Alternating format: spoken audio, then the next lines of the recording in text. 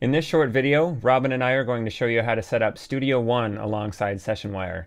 This video is applicable to both Studio One 4 and Studio One 5, although Studio One 5 comes with a listen bus feature that you can use instead. So just to keep it uniform between 4 and 5, this is how we're going to set up Studio One to stream audio across SessionWire. I'm going to take the SessionWire Send plugin and insert it right here on my main fader in Studio One.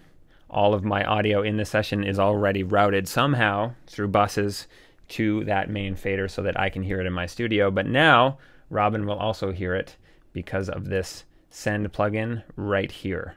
And SessionWire defaults the HQ audio source to the send plugin as well. So you don't need to change anything in the SessionWire app.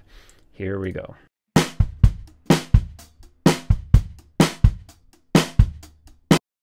There you have it, streaming audio one way across SessionWire.